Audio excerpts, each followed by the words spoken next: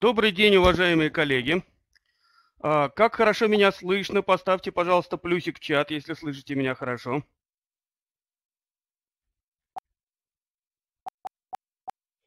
А, вижу ваши плюсики, спасибо.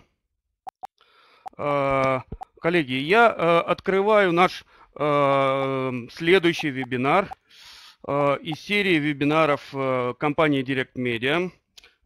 Сегодня наш вебинар называется ГОСТ по электронно-библиотечным системам «Переворот в отрасли». И э, сегодня у нас два э, спикера. Э, э, первым выступит э, Павел Евгеньевич Овчинников. Э, сейчас я скажу, как его правильно представлять. У меня здесь записано. Э, председатель э, ПК-3.4, ТК-461. А, то есть э, э, той, э, той, той организации, которая ответственна за стандарты, который, о котором пойдет речь в нашем сегодняшнем вебинаре. А, ну и вторым спикером будет Константин Николаевич Костюк, генеральный директор компании Direct Media. А, вот э, сегодня у нас состоится вот такой вот вебинар, но прежде чем предоставить слово Павлу Евгеньевичу, а, я хотел бы а, представить вам наши э, вебинары будущие, которые состоятся на следующей неделе. А, это два вебинара.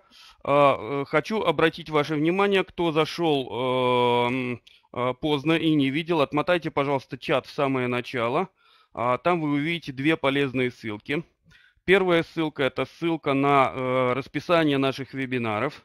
Расписание наших вебинаров э, у нас э, э, э, на целое полугодие. Его можно посмотреть и подписаться, э, зарегистрироваться на любой вебинар из тех, которые представлены в этом вебинаре. Также прямо из этого расписания можно посмотреть записи всех вебинаров, которые были произведены до этого. Ну, а также запись этого вебинара и э, всех предыдущих и последующих будет публиковаться на э, э, публикуется и будет публиковаться на нашем видеоканале в YouTube. Э, его ссылочка на него тоже представлена в самом начале чата. Итак, вот э, те два вебинара, которые нам предстоят, э, они следующие. Первый из них пройдет 20 числа. А, будет он называться, сейчас я это все э, задублирую в чат, «Стандарты научной публикации в периодическом издании». Вот его название. И сейчас дам ссылку на... Э, Татьяна Телегина будет проводить этот вебинар. Э, хорошо знакомая уже тем, кто нас постоянно входит на наши вебинары. И вот ссылка на регистрацию. И э, второй вебинар пройдет 21 числа во вторник. Э, будет он, это э, вебинар по нашей электронной библиотечной системе. Он посвящен вопросам комплектования ЭБС. И проведет его Олег Владимирович Молодецкий, заместитель, заместитель генерального директора компании Direct Media. Вот название этого вебинара – по книжной или, или коллекциями лучшие стратегии комплектования электронных ресурсов. А, ну и э, ссылочка, ссылка на регистрацию в, этот, э, в этом э, вебинаре. А, вот она. Пожалуйста, пользуйтесь, регистрируйтесь. Э, э, ждем вас на наших вебинарах. А сейчас я хочу предоставить слово Павлу Евгеньевичу Овчинникову для того, чтобы он а, начал наш а, сегодняшний вебинар. А, ну и а, приступил бы к своим а, обязанностям эксперта на нашем сегодняшнем вебинаре и сменил бы меня в качестве спикера. А, спасибо вам за внимание. Павел Евгеньевич, прошу вас включиться.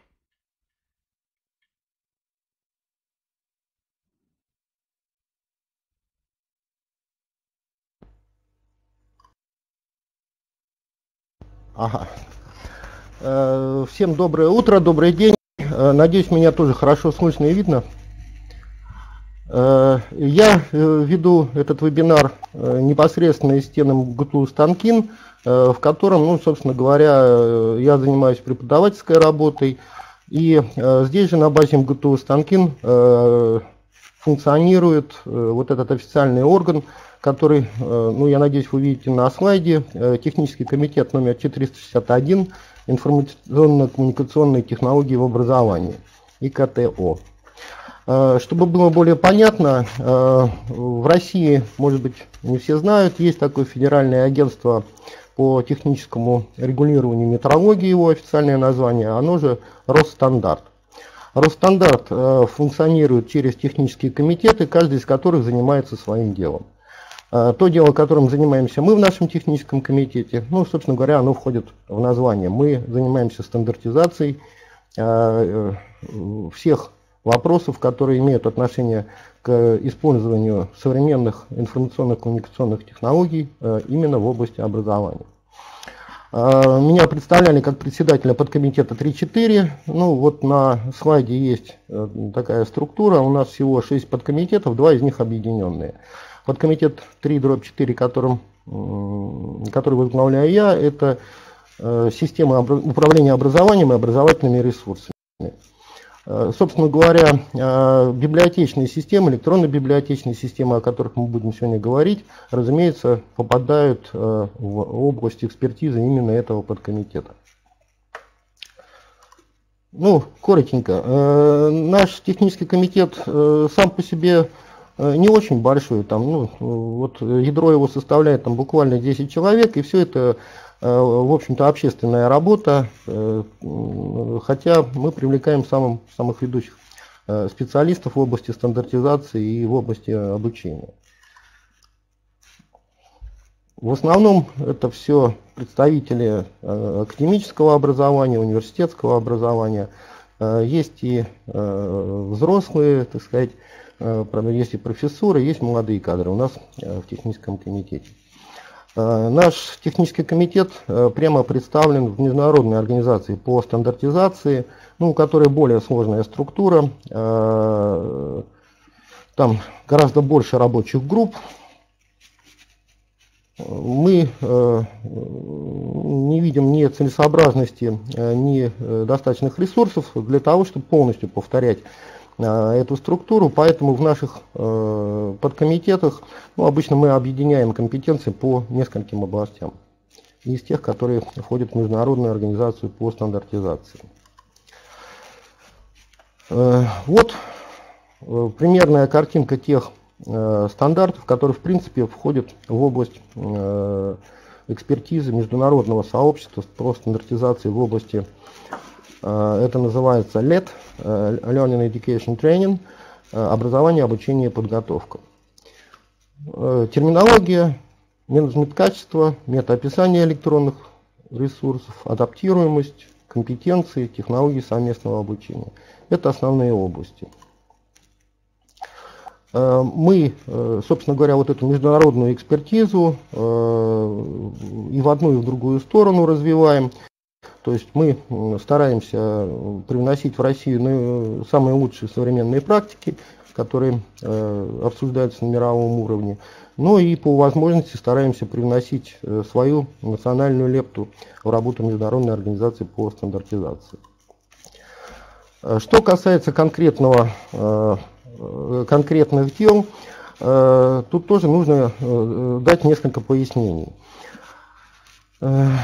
Технические комитеты э, в России, э, в общем-то, выполняют функцию скорее координаторов, таких модераторов.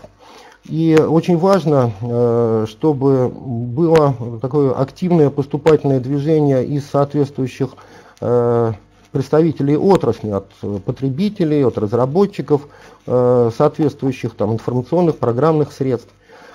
И вот по поводу того стандарта, который мы обсуждаем сегодня, случилось, можно сказать, вот э, чудо и счастье. Э, к разработке и обсуждению этого стандарта подключились издатели, э, подключились библиотекари, подключились ну, и образовательные организации. В целом, вот в прошлом году мы выпустили комплект из пяти новых стандартов первой редакции – Тот, о котором мы говорим, вот он записан, электронно-библиотечная система и общее положение. Сразу хотел бы обратить внимание на то, что параллельно мы выпустили еще, один, еще одну версию стандарта, электронный учебник – Э, к которому тоже хотелось бы привлечь внимание экспертов. Э, тоже обращайтесь. В принципе, мы можем даже объединить вот это обсуждение этих двух стандартов э, как бы, в одну группу. Ну, к счастью, вот Константин Николаевич, он возглавлял как раз рабочую группу, которая разрабатывала вот этот первый стандарт. И ну, не то чтобы возглавлял, но значит, активно участвовал и э, в обсуждении стандарта по электронному учебнику. Э, скорее всего, и один, и другой представляют интересы для тех, кто связан со всей э, издательской деятельностью в электронном виде. Ну, на всякий случай, наши планы можете тоже посмотреть. Это планы на 2017 год разработки новых стандартов. Э, ну, теперь давайте я коротенько перейду к тому, зачем нужен был этот стандарт, э, как мы его обсуждали и к чему мы пришли. Почему вообще вот в заголовок нашего вебинара э, вынесено переворот в отрасли. Переворот в отрасли, может быть, он не такой революционный, но действительно в ходе обсуждения, оно длилось долго, полтора года, Э, в результате обсуждения, в результате обсуждения, значит, э, по дороге у нас было очень много э, тем для обсуждения, а в результате обсуждения нам удалось добиться главного, для чего существуют стандарты, нам удалось добиться некоторого консенсуса, то есть согласия. Мы добились согласия, в первую очередь, по терминологии, по общему пониманию заинтересованностей между тремя основными группами. А, между самими библиотекарями, между представителями электронных библиотек а, и технический комитет 191 СИБИТ э, тоже активно поучаствовал в обсуждении, в работе над нашими стандартами. Разумеется, это представители, держателей а, электронных фондов, ну, это не только Директ там было еще больше десятка Э, издательств, э, которые тоже э, активно выражали свою точку зрения. И самое главное, ну, к чему мы шли довольно долго, ну, в результате ушли, пришли с довольно хорошими показателями, это представители образовательных организаций, которые, собственно, являются потребителями тех самых электронных библиотек, электронных библиотечных ресурсов, которым посвящен этот стандарт. Э, что, э, на, на что мне хотелось бы сразу обратить внимание? Э, мне хотелось бы обратить внимание на то, что в настоящий момент стандарт очень точно отражает потребности образовательных организаций. Это не значит, что очень полно и детально, но очень точно отражает потребности в электронно-библиотечных системах. То есть в этом стандарте отражена в основном точка зрения заказчика, потребителя этих э, образовательных ресурсов, э, которая э, прошла экспертизу тех, кто умеет поставлять соответствующие ресурсы. С нашей точки зрения это может многим облегчить целый ряд достаточно сложных процедур, как то формирование заказа, проведение конкурсных процедур и так далее и тому подобное. И самое главное – наличие, само наличие такого стандарта, согласованной терминологии, э, позволяет э, так сказать, сильно сэкономить время на поиск точек соприкосновения между поставщиками, или как они в стандарте сейчас названы, агрегаторы контента, и потребителями, то есть образовательными организациями. В стандарте еще предусмотрена процедура добровольной сертификации на этот стандарт – ну, которая тоже с нашей точки зрения может э, снять э, достаточно большое количество э, разного рода э, проявлений недобросовестной конкуренции. И если э, какая-то э, фирма, какое-то юридическое лицо имеет сертификат, подтверждающий соответствие э, его решения, его ресурсов этому стандарту, ну, в общем, это признание э, достаточно Э, серьезное, можно сказать, общественное признание, э, в первую очередь как раз э, в среде самих держателей электронных ресурсов. Того, что этот продукт и эти информационные ресурсы, ну, скажем так, готовы к применению в образовательных организациях. То есть, в целом, ну, подводя итог своего выступления, я хотел бы, так сказать, по возможности выслушать вот ваше мнение по этому поводу, насколько э, стандарт э, способен ну, в реальности сыграть какую-то революционную роль.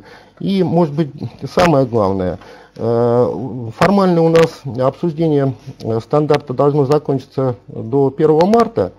Вот. Ну, на самом деле можно еще э, успеть э, внести в него некоторые изменения, если будут конкретные предложения.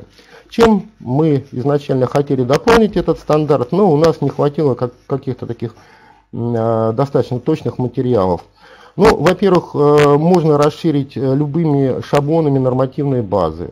Можно э, расширить любыми, э, ну, так сказать, э, приложениями э, рекоменда... Э, в виде рекомендаций, которые тоже могут каким-то образом, с вашей точки зрения, способствовать облегчению вот этих мучительных закупочных процедур э, и э, любых, так сказать, э, других процессов, которые вызывают или могут вызывать какие-то трения с потенциальным заказчиком. Мы будем очень рады принять все такие предложения. По возможности после их обработки постараемся их оперативно включить в этот стандарт.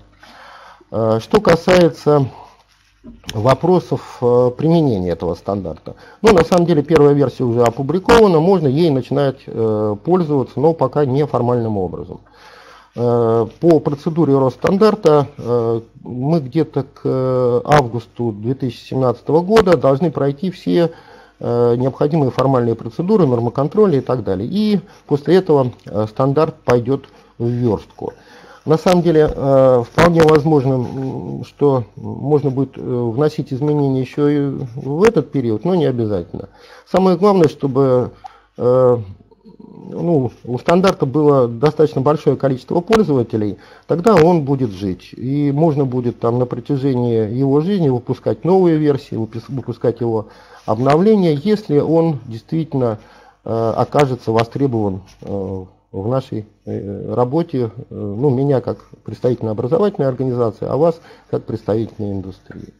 Ну вот на этом я бы хотел закончить свое, свой монолог. Если есть вопросы, готов на них ответить.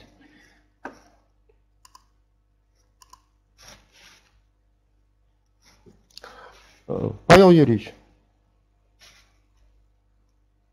Константин Николаевич. А, да, я думаю... Ну, я готов передать слово. Да, передайте да, слово пока Константину Николаевичу, а если будут вопро э, вопросы, вклю включитесь тогда в конце. Да, хорошо, хорошо. Спасибо за спасибо, внимание. Спасибо.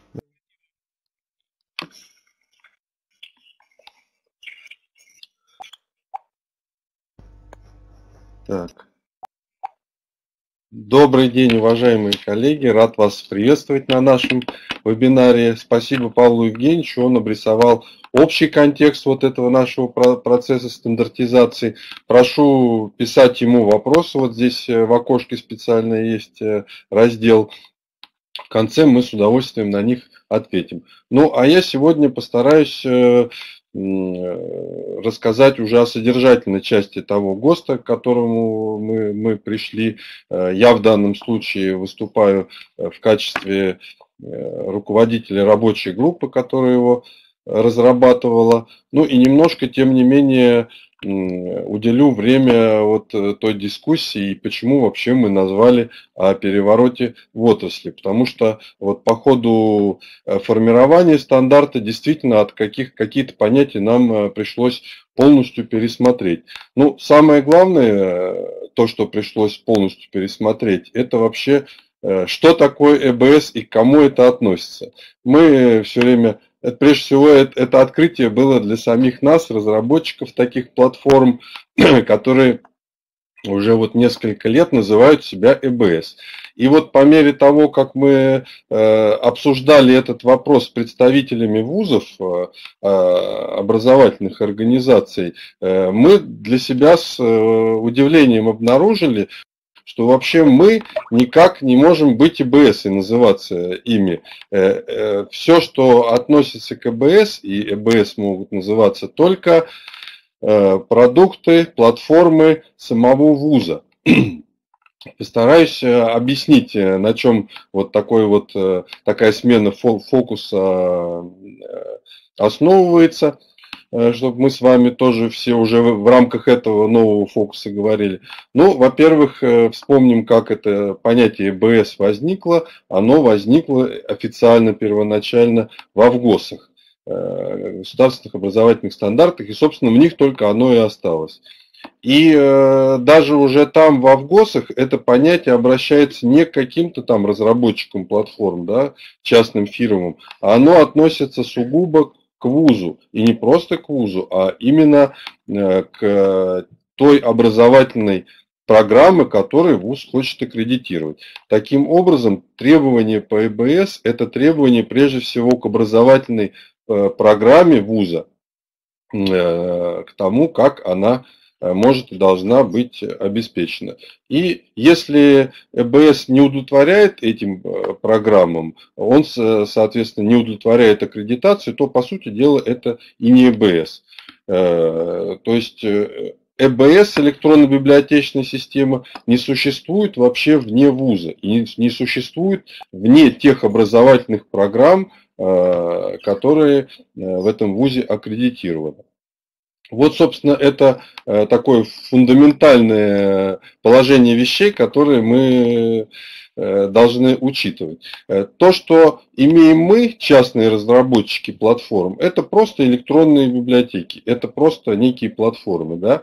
Как только эти платформы начинают использоваться вузом для обеспечения образовательной деятельности, а только тогда они становятся электронно-библиотечными системами.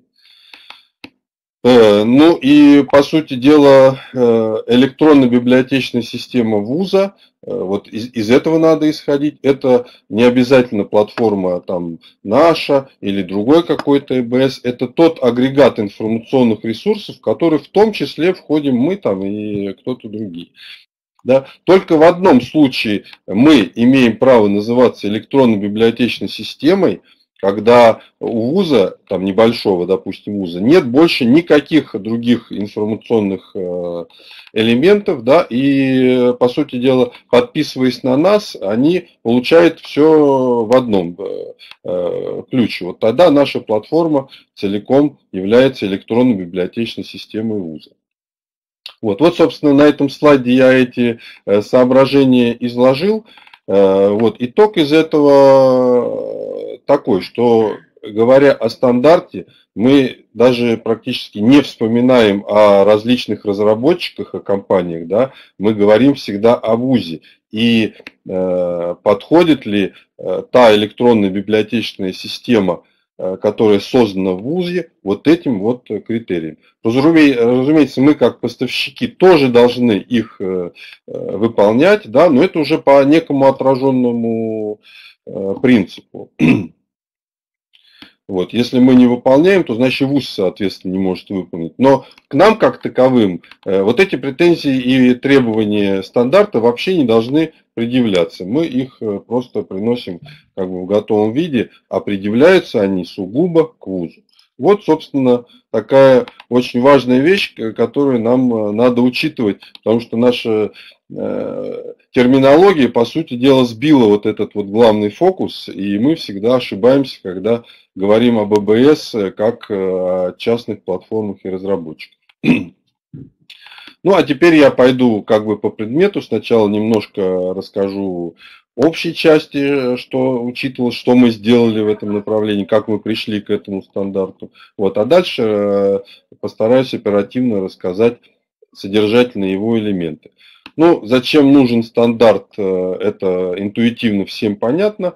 Э, а конкретно говоря, э, обязательно нужно для того, чтобы мы вели осмысленную деятельность, чтобы мы понимали цели и задачи ЭБС в учебной организации, чтобы существовало понимание о нормах и критериях расходования бюджетных средств с государственной точки зрения. Потом стандарт необходим в свете вопроса о качестве образования, соответственно, о качестве ЕБС, чтобы можно было какими-то там критериями ее измерять. А дальше стандарт нужен для того, чтобы мы связали традиционные формы информационно-библиотечного обслуживания и современные процессы информатизации образования, чтобы это все было прописано и всем понятно. Ну и потом э, стандарт позволяет осуществлять принципы добросовестной конкуренции и устанавливать какие-то правила на этом рынке. Ну а в целом стандарт это гарантия некого уровня качества для системы образования. И разумеется, вот приняв, принимая такой стандарт, э, мы претендуем на то, чтобы этот э, уровень качества повысить для всей российской, для всего российского образования. Вот эти цели и задачи изложены, изложены в частности вот в статье, которая здесь приводится, совместных, совместная статья авторов этого стандарта. Вот, в целом, многие из вас э, в курсе той долгой истории, которая движется вокруг обсуждения принципов э, и норм э, ЭБС. Практически эта дискуссия началась с возникновения электронно-библиотечных систем. Была очень горячая на первых порах полемика между разными Э, представителями лобби, так скажем, на этом рынке. Э, существовало, в частности, три концепции критериев ЭБС. Количественные критерии, их представлял вот э, тогдашний лидер ЭБС Книгофонд, и во многом они вошли в нормативную базу. Были концепции качественных критерий, их наши традиционные издательства предлагали – вот. В итоге пришло к некому концепту Министерства образования, с которым многие из вас тоже помнят, э, о неких весовых показателей. Если помните, мы с вами считали, сколько баллов э, набирает каждый ЭБС, и этим отчитывались. Вот. В 2011 году вот эти вот э, весовые нормативы ЭБС были введены в строй а в 2014 уже отменены. Вот дальше э, мы живем с вами более-менее в таком либеральном, свободном режиме. И вот э, наш стандарт – это совсем уже другой подход. Это э, саморегуляция нашего рынка, попытка включить это все в некие нормативы, которые не диктуются сверху, а действительно требуются самой отраслью, самим образованием, всеми участниками этого рынка. Вот так вот мы пришли последние два года к процессу, который постоянно идет, обсуждение ГОСТа. Вот здесь я еще раз обращаю внимание, э, то, к чему мы пришли за эти 6-7 лет, э, это Э, возникновение и стабилизация рынка. На сегодня уже никаких таких движений больших вверх-вниз э, не происходит, и игроки тоже обозначились э, достаточно четко. Это около 15 и маленьких, и крупных игроков. А помимо этого создаются ЭБС вузов. И, как я сказал в начале, на самом деле все ЭБС – это ЭБС вузов. Э, э, вопрос только в том, сами вузы являются разработчиками и их, или они являются своего рода агрегаторами различных ЭБС.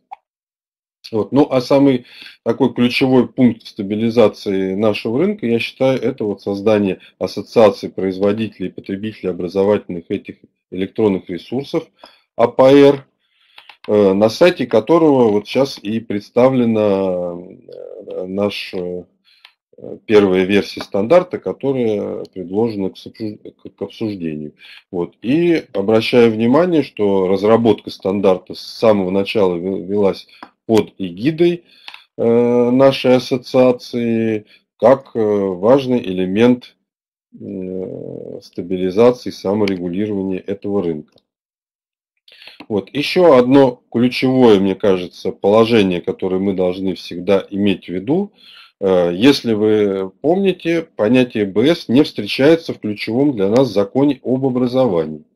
Вот. Зато там включается понятие информационно-образовательной среды, и это понятие фигурирует у нас постоянно, оно для нас такое родовое, ключевое, и ЭБС должна рассматриваться просто как некий элемент этой информационной среды наряду с системой управления, с АБИСами, автоматизированными информационно-библиотечными системами, с ЛМС и другие важные подсистемами. При этом я э, сам вот убежден в том, что как раз электронно-библиотечная система это одна из самых ключевых подсистем информационно-образовательной среды, без которой последнее просто и немыслимо. Это система, которая отвечает за обеспечение организации учебной научной литературы.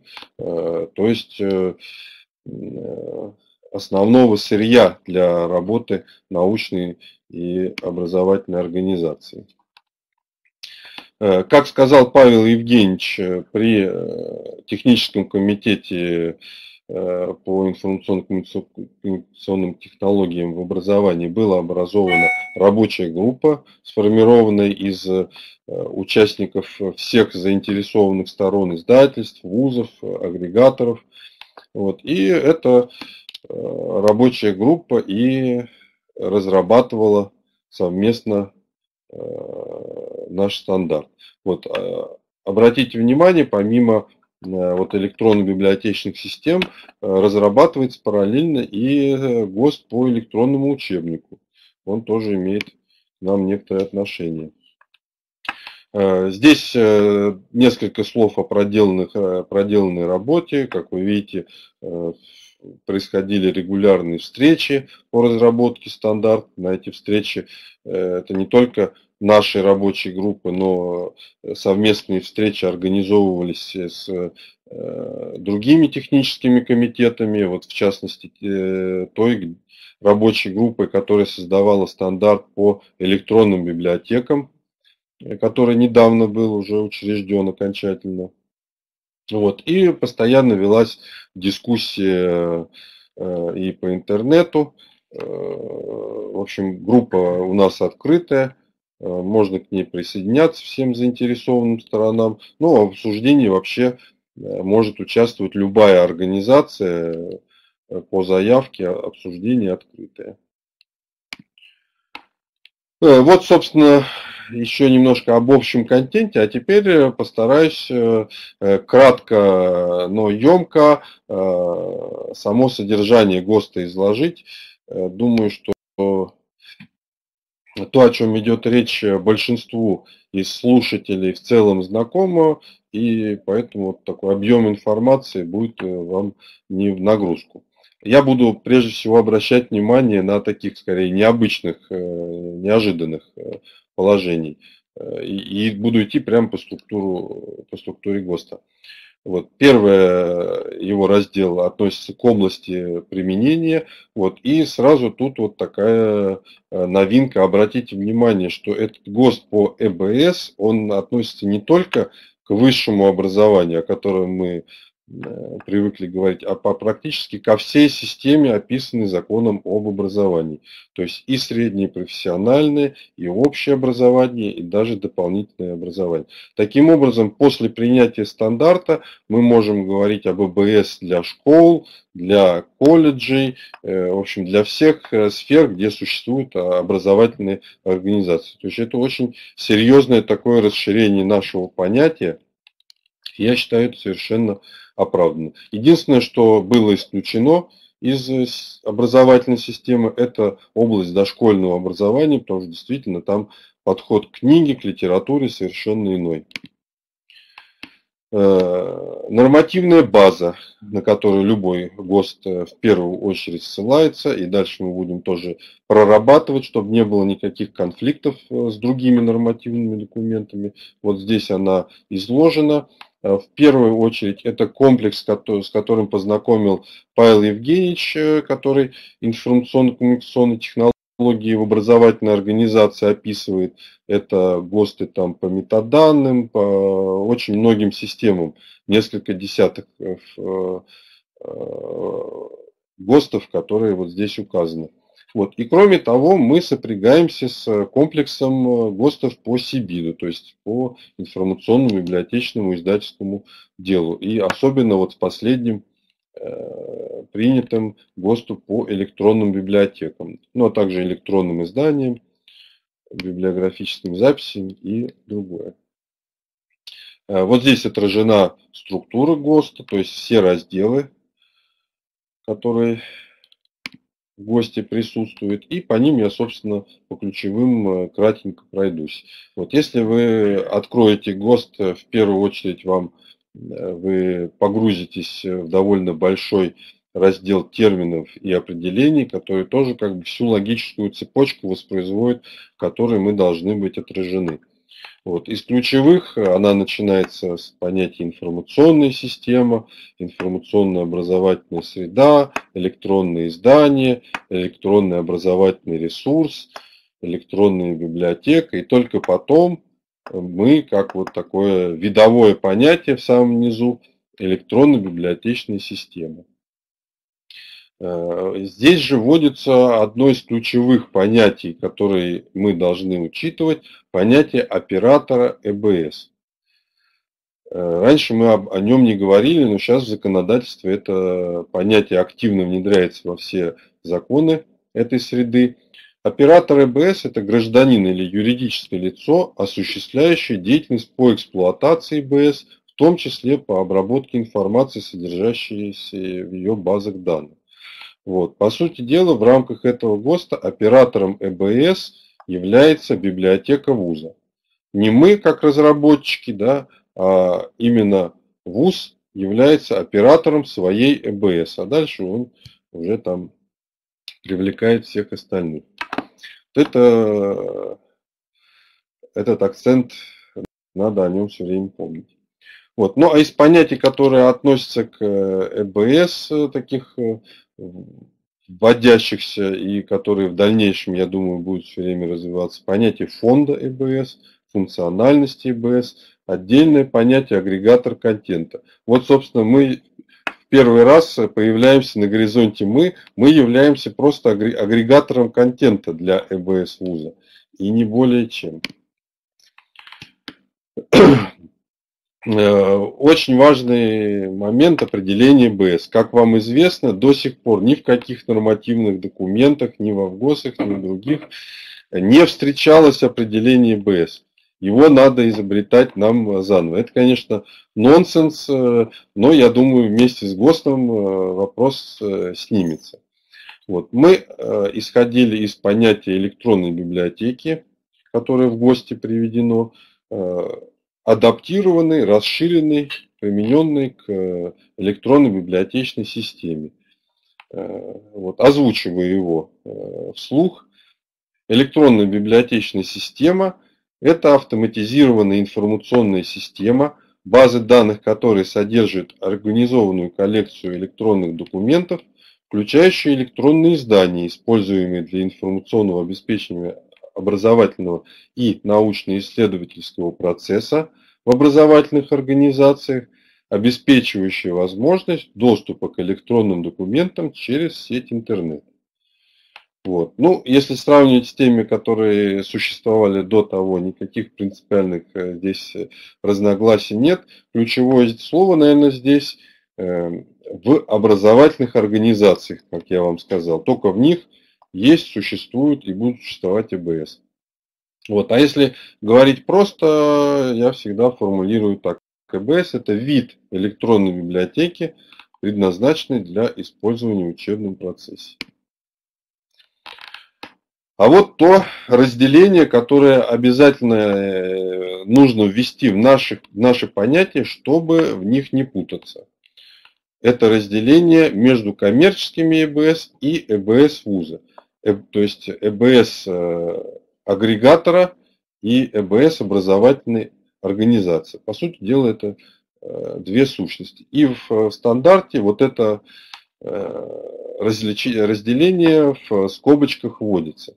Значит, ЭБС образовательной организации там написано, может быть создана как с помощью отдельного программного комплекса, эксплуатируемого непосредственно в образовательной организации, так и с помощью совокупности подобных комплексов EBS-агрегаторов контента, ряд из которых эксплуатируется внешними операторами, если они образуют единую информационную систему, используемую в образовательной организации. Еще раз тут э, длинное очень предложение. EBS образовательной организации может быть создана с помощью совокупности подобных комплексов, если они образуют единую информационную систему, используемую в образовательной организации. Э, вот это тоже э, такой момент, отличающий настоящий, так скажем, ЭБС вузов от ненастоящих. Настоящий ЭБС вуза там, где действительно создается самостоятельная платформа ЭБС, включающая других, э, другие платформы. Там, где она образует единую информационную систему. Ну, вот как образцовый пример я бы привел э, ЭБС Санкт-Петербургского государственного университета. Те, кто на конференции ездит, они постоянно знакомятся с презентациями. Э, вот они в Питерском госуниверситете э, создали и самостоятельную систему поиска, и самостоятельную систему отслеживания статистики по разным агрегаторам. То есть вот она действительно у них самостоятельная, собственная, библиотечная. Остальные просто как ее подкомпоненты. Э, вот. Ну, а существует большинство, даже я бы сказал, это некие агрегаторы вот различных информационных поставщиков, которые собраны на сайте, и статистика, как правило, э, подбирается у каждого агрегатора отдельно, э, вручную, так скажем. Вот. Но это тоже ЭБС э, организации, да, но, скажем так, не до конца доведенные, несовершенные. Так что вот две, два типа ЭБС. Э, фонд ЭБС раскрывается в гости. Что такое фонд ЭБС? Э, э, это фонд ЭБС входит, могут входить несколько сущностей совершенно разной природы. Но первые и основные это электронные издания, более широко электронные документы, любого типа. Еще более широко информационные объекты, то есть вообще любого типа, видео, иллюстрации, все что угодно. И, наконец, даже не информационные объекты, а гиперссылки и ссылки, ведущие на контент, расположенных в иных информационных системах. То есть понятно, что в рамках ЭБС можно расположить любой электронный контент, лишь бы он подчинялся э, целевому целевой функции ну и был действительно как-то организован, объединен. А целевой вот этой функцией и основой фонда ИБС является учебная и научная литература, соответствующая нормам, предъявляемым информационно-библиотечному фонду образовательных организаций в системе книгообеспеченности дисциплин. Э, вот Почему так сформулировано? Потому что э, мы вот э, на сегодня имеем единственный регулирующий документ по МБС, это в ГОС. И там вот эти все функции и э, следует искать. А для ВГОСа ключевым единственным критерием является наличие основной учебной литературы для обеспечения рабочих программ дисциплин. Вот, собственно, это, это и есть костяк фонда ЭБС. Вот. Э, и несколько из этого, из этого вытекает, по крайней мере, вот такой э, тоже парадоксальный вывод, что несмотря на то, что все может входить, и гиперссылки, и все что угодно, но вот такие вещи, платформы, как электронные архивы, ресурсы открытого доступа, электронные библиотеки, периодики э, и прочие вот подобного ресурса, ресурсы они, на мой взгляд, не могут считаться ЭБС, потому что они не отвечают задаче в ГОС. Вот e-library я бы не назвал электронной библиотечной системы, потому что она э, вот к ВГОСу отношения не имеет. Вот, может быть, э, со мной не все согласятся. Вот. Дальше по отношению к фонду ВБС еще есть несколько таких ограничивающих моментов.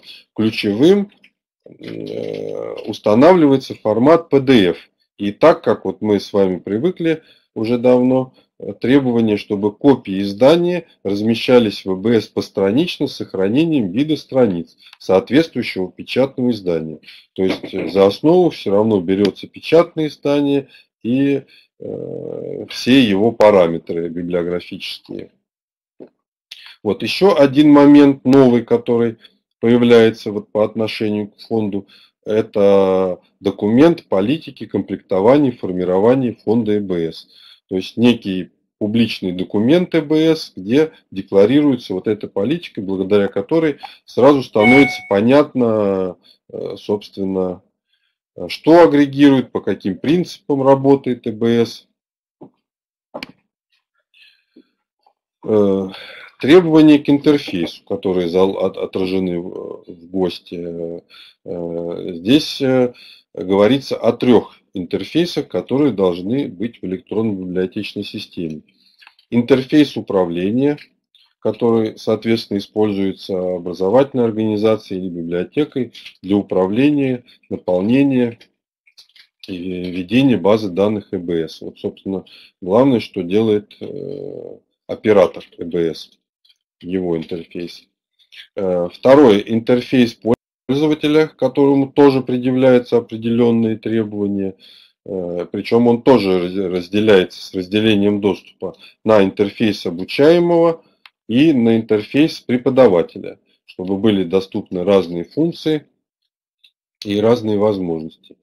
Э, наконец, интерфейс правообладателя. Это тоже одно из новаций данного стандарта. Если раньше Э, правообладатель, его права и возможности вообще были за рамками как бы вуза, э, что там происходит с ним, никого не интересует. Вот, то сейчас правообладатель это такой же участник ЭБС, равный, который должен как минимум получать статистику, для которого ЭБС должна быть прозрачная, полностью понятна. Вот, как вы видите, э, вот электронные, если вы возьмете ГОСТ электронной библиотеки, там уже вот этого всего нет. Я бы даже так сказал, что ЭБС по отношению вот э, к понятию и ГОСТу электронной библиотеки это э, такая накрученная, сложная, доведенная во многих э, аспектах до совершенства и сложности электронная библиотека. Вот, собственно, о функциональности ЭБС, которая Э, тоже должна обязательно быть присутствовать в УБС. И здесь вы, э, так сказать, увидите, что этот ГОСТ э, создан с, с точки зрения образовательной организации, а не какой-либо платформы, которая ее обслуживает. Вот. Сюда входит функциональность ЭБС должна обеспечивать ключевые направления работы, которые Э, должны существовать в образовательной организации. И первое, что вот из таких э, функций э, должно входить в ВБС, это возможность загрузки и использования контента образовательной организации. Вот. Если вы помните про коммерческий БС, практически никакая коммерческая ЭБС не предлагает и, во всяком случае, не отражает вот этот вот аспект э, загрузки, использования контента образовательной организации. Это то, что происходит у вас внутри, в вашей внутренней ЭБС. Да? Можете использовать коммерческую, там нас для этой функции, но это именно вот функция вуза, вузовской ЭБС. Вот. Второй момент, который обязательно должна обеспечить ИБС, возможность размещения и создания архива выпускных квалификационных работ. Вот. Это тоже вот допол- дополнительная э, важная функция, которую далеко не все коммерческие ИБС обеспечивают. Третья э, функцию вообще никто из ИБС, по-моему, не обеспечивает. Это полноценная э, а, ну, тут две, два момента. Первый, полноценная работа с электронными изданиями основной и дополнительной учебной литературы. Это как раз вот э, мы все знаем и привыкли. А второй момент, э, значит, литературы, включенной в рабочие программы дисциплин, в том числе обеспечивая информационную связь с классификаторами направлений подготовки.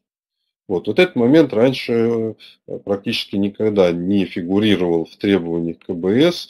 Э, здесь отражено, что э, вот вся литература, она должна быть непосредственно связана с классификаторами специальностей и давать библиотеке удобный инструментарий для работы вот с УГСНами, с всей системой классификации, которая используется в ВУЗе.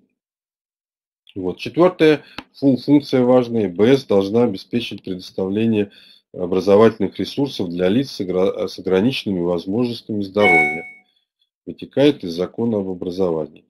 Э, вот, как видите, э, вот функциональность, э, это относится прежде всего к вам, а не к нам.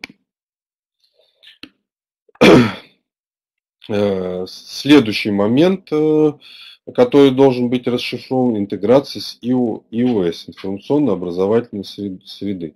Э, цель здесь такая, это как раз задача, прежде всего, стоящая перед вот отдельными разработчиками, чтобы ЭБС, легко интегрировалась в информационную образовательную среду, содержала в себе удобные коннекторы, которые позволяют вот сразу пользоваться вузу бесшовным переходом и другими удобствами, переходя от одной системы к другой. Единого окна, э, системы учета паролей и так далее. Это, чтобы не приходилось в каждую систему заходить э, вновь и заново. Ну, здесь отражены основные элементы этой iOS. Это совместимость EBS и ABIS. Э, сейчас уже многие пользуются EBS через ABIS. Э, это должно быть удобно.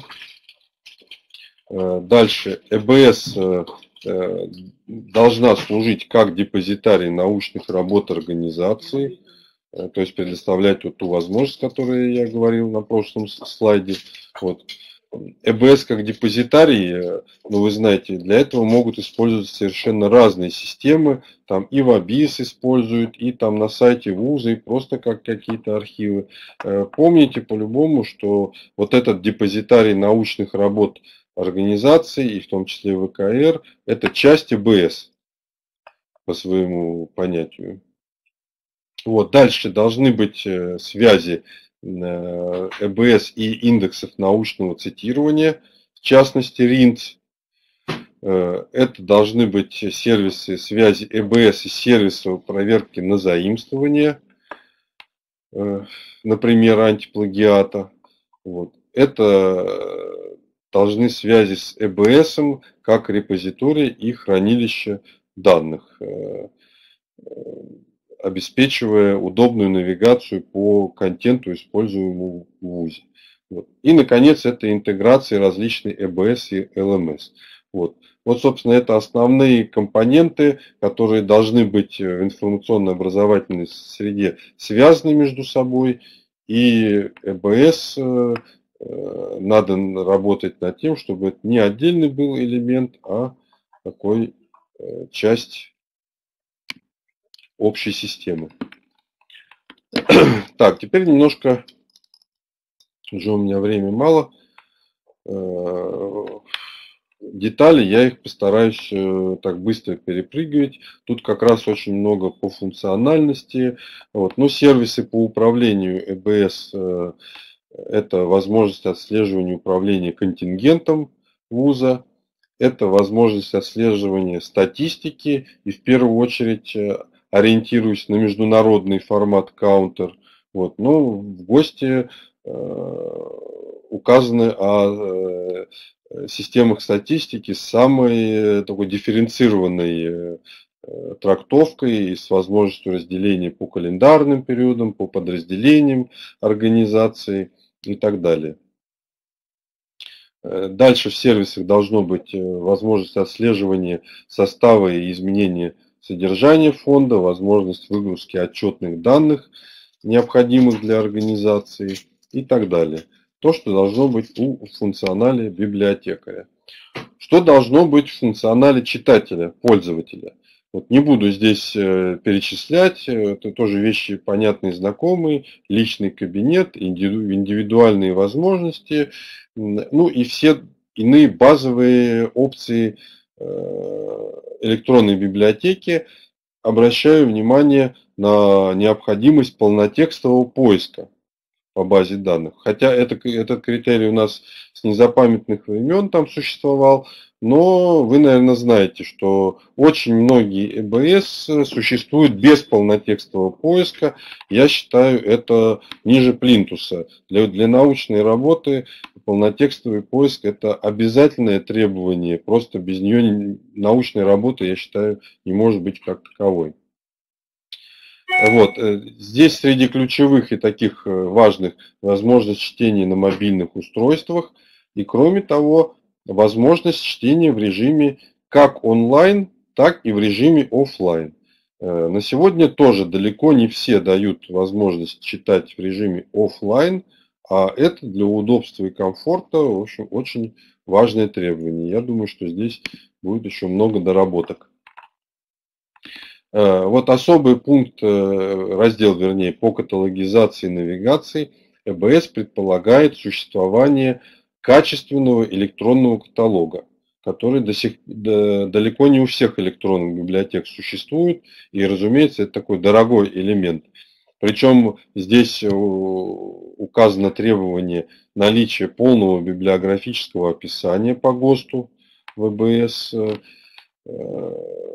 широкое информационное обеспечение книги, наличие аннотаций, содержания, Э, ну и сервисы формирования выгрузки э, распространенных библиографических форматов, прежде всего для интеграции с ABIS, марк записей.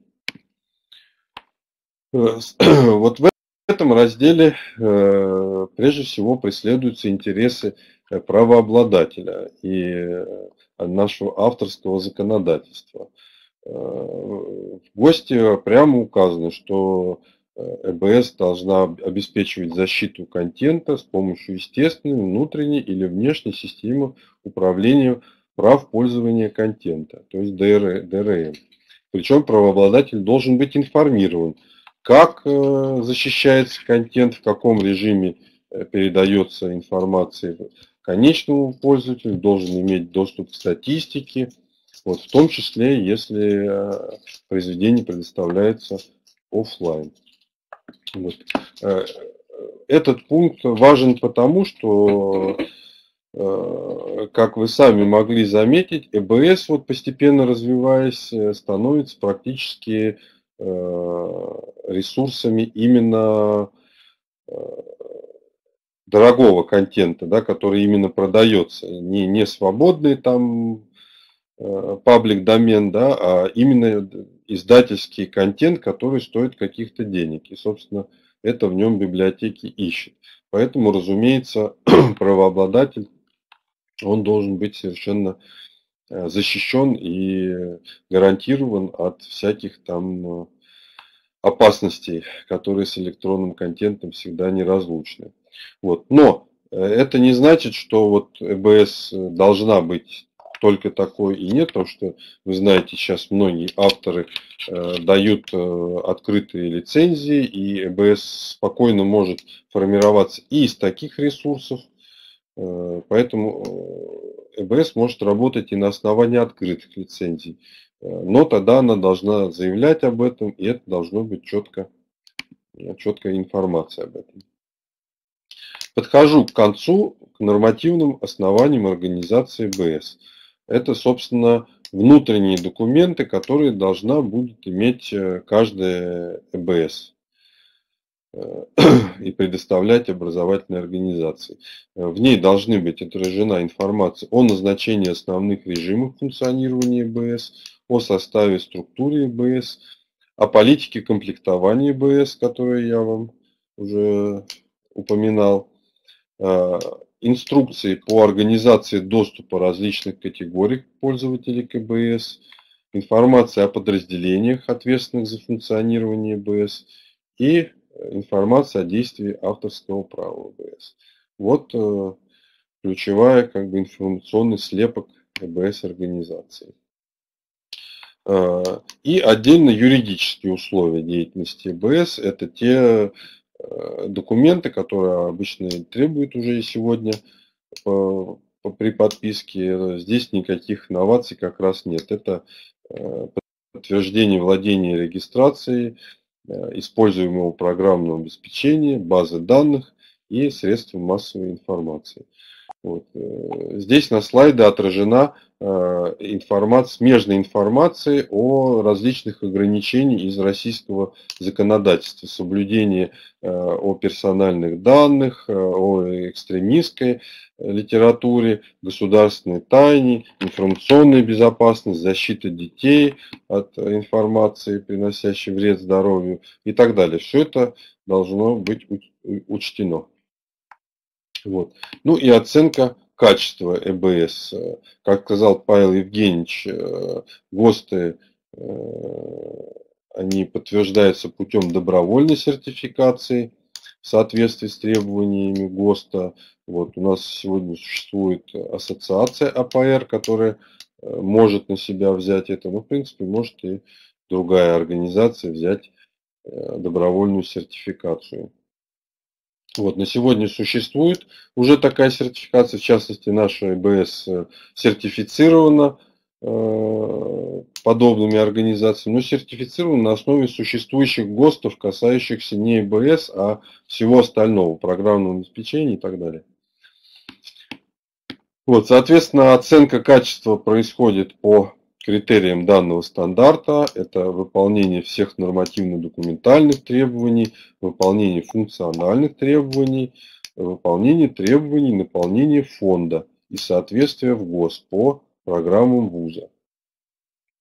Э, вот ясно, что э, стандарт э, много что не входит и не должно входить. И в частности, качественные критерии, о которых вот все время ведутся дискуссии в разговоре АБС, они не могут и не должны входить в стандарт.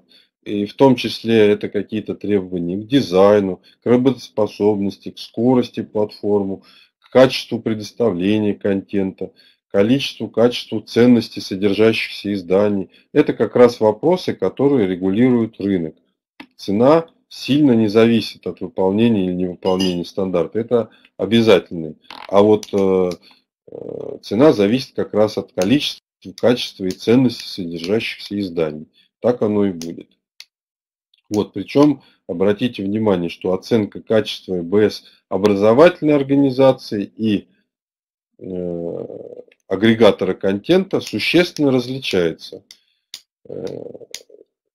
По, по отношению к нам, агрегаторам контента, свои критерии будет э, предоставлять образовательные организации, требовать с нас, да, а по отношению к КБС образовательные организации свои требования будет выставлять Рособорнадзор. Вот, поэтому очень важно понимать, ну что и так, я надеюсь, все понимают границы ГОСТа, что регулируется, что не регулируется ГОСТ. ГОСТ являются техническими стандартами, при этом добровольными. Поэтому они отделены от всех коммерческих и содержательных вопросов. И в ГОСТ э, не входят, в частности, вопросы, которые вот часто нам, например, правообладатели задавали, ну и сами вузы.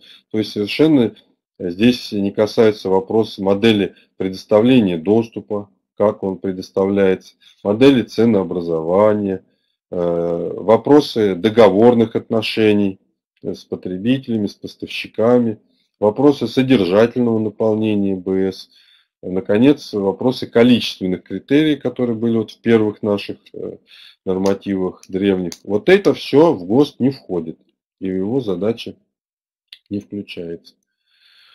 Э, ну вот, собственно, э, на этом я почти уложился. Вот, надеюсь, что так обобщенно предоставил информацию. Если она, э, если какие-то элементы вам показались новыми, неожиданными, нелогичными, у вас есть возможность зайти сейчас на сайт АПР, закачать себе этот стандарт, прочитать его внимательно и высказать свои замечания. Они пойдут в нашу рабочую группу, в технический комитет, будут все тщательно изучены, и пока у нас есть время, чтобы вносить изменения, мы это делать готовы. Вот. Ну что ж, дорогие коллеги, тогда я перехожу к вопросам, отвечу на вопросы которые именно ко мне, может быть, относятся, а Павел Евгеньевич подключится, от, ответит э, на свои. Так, вот тут сразу вопрос по, по, по тексту стандарта, уже практически я ответил, он сейчас на сайте АПР. Так, вот возникли вопросы, регулирует ли новый стандарт возможности ЕБС для инклюзивного образования? Э, спасибо, хороший вопрос. Э, ну вот вы видели, в, данной, в данном случае он не регулирует. Он э, просто обязывает ЭБС э, э, удовлетворять инклюзивному образованию, да, то есть иметь версию там и так далее. А вот какая она должна быть, это, наверное, должно регулироваться другими документами, которые относятся вот как к этой сфере ресурсы для инклюзивного образования.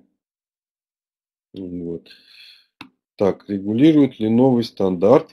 Так, это опять то же самое. Сейчас. Терминологически это называется индивидуальные предпочтения для обучающихся с ограничениями, с ограниченными возможностями. Да, ну я вот еще раз сказал, что минимальные требования здесь не заданы, но здесь задано обязательное наличие такой версии не увидела в гости сервиса статистики. Есть этот раздел, там э, я, я мимо него проходил и обратил ваше внимание, что там даже расширенные такие требования. Ни в каком из прежних версий у нас такие расширенные не были версии. Они прямо ссылаются на международный стандарт Counter. Вот его, видимо-то придется всем реализовывать в той или иной степени. Э, ну и э, это, это как минимум, потому что стандарт каунтер на самом деле он не сложный и не очень-то большой. Вот. А если образовательная организация желает получить там очень детализированную, тщательную статистику по подразделению, например, то это может быть реализовано, но это не ставится как э, обязательное требование. Это, так скажем, назывательная функция. Так, будут ли разработаны типовые положения данных документов? Тоже вопрос интересный. Пока про это мы... Э, вопрос пока так не вставал. Ну, мы еще должны ГОСТ утвердить. Вот, я думаю, наверное, будут, да, э, вот те нормативные документы, наверное, будет что-то такое общее. Так. Да, вот э, Павел Евгеньевич тут же уже отвечает письменно, и нашлось достаточное количество предложений с конкретным вариантом. Ну, мы, да, еще к этому вопросу не приступали. Э, теперь вы будете называться электронной библиотекой, университетская библиотека онлайн. Ну, в общем, да, из, из вот той постановки вопроса, который э, сейчас следует, мы вообще должны все убрать название ЭБС, чтобы не путаться. Вот. Э, она на самом деле, я тоже считаю, по большому счету некорректная. Вне образовательной организации не может быть э, электронно-библиотечной системы. Вот. Но, наверное, э, благодаря тому, что уже все привыкли, э, все сохранится и никаких э, изменений больших не будет. Но на самом деле, да, вот мы приходим, например, в бизнес-организацию, вот у нас есть бизнес-библиотека, там мы уже не называем себя ИБС. Вот, а приходим в школу, вот, библиошколу, мы все-таки называем себя ИБС. У вас должна быть ИБС. Вот, так что, может быть, и здесь э, в словоупотреблении какие-то будут изменения. Разъясните, пожалуйста, добровольность ГОСТа. Издательство распространителей ЭБС не обязаны придерживаться стандарта? Э, Ну вот, может быть, я как раз по Павлу Евгеньевичу додам здесь слово, потому что вот в плане сущности ГОСТов, для чего они, какая у них сила, это он. Да. А я прощаюсь с вами.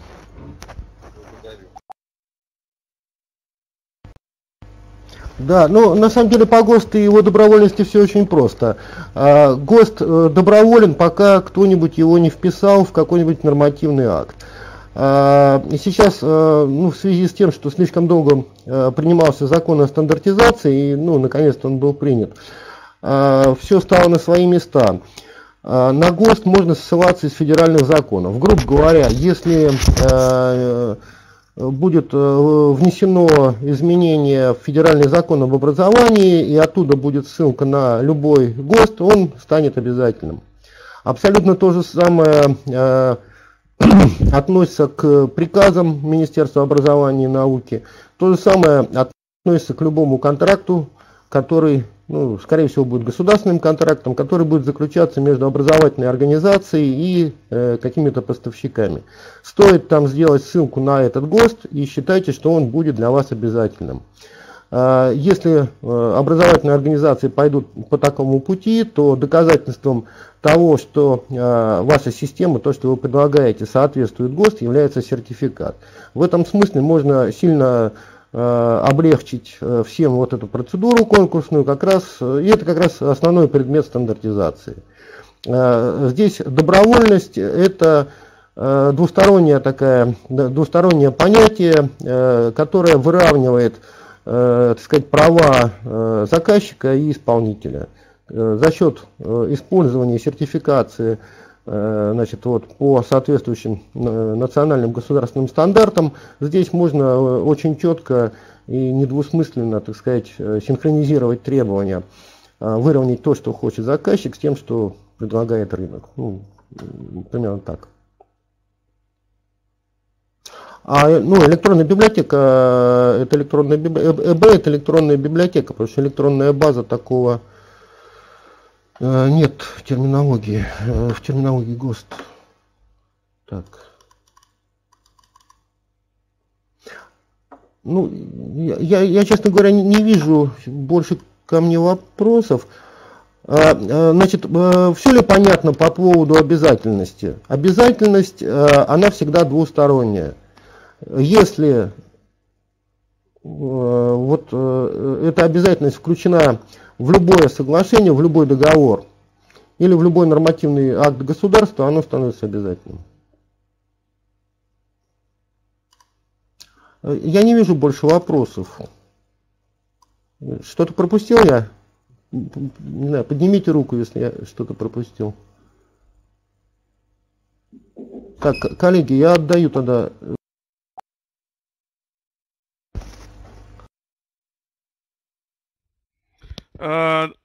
уважаемые коллеги, разрешите тогда э, с вами попрощаться, поблагодарить вас всех за то, что вы сегодня э, пришли на наш вебинар. Вебинар сегодня был у нас э, переполненный, прямо 100 человек, как полностью наша вебинарная комната поддерживает. Все 100 человек были, наверное, даже кто-то не смог попасть, к сожалению.